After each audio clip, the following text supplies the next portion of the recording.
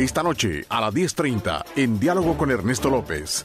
Arena, eh, ¿no le preocupa el hecho de que un expresidente se haya saltado el control de las donaciones como le hacían el cuestionamiento en la campaña? Es que, Neto, usted está aseverando una cosa que a mí no es me... el debate que se está haciendo en la comisión. Mire, usted está diciendo que Arena no le preocupa sí, manera de pregunta. No le preocupa, Y luego asevera. Yo creo de que el enfoque debe de ser al revés.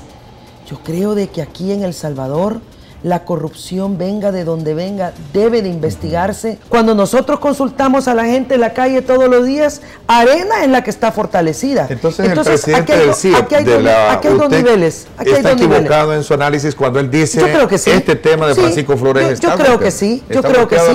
Los números pueden ser números, pero las derivaciones en los análisis, en mi opinión, sí está equivocado definitivamente. No se pierda Diálogo con Ernesto López, esta noche a las 10.30 solo por Canal 21. Tome el control.